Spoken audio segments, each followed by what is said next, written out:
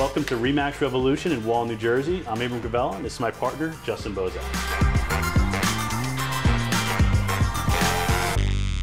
We are in Brielle, New Jersey now. We're gonna be checking out one of the hottest new Italian restaurants.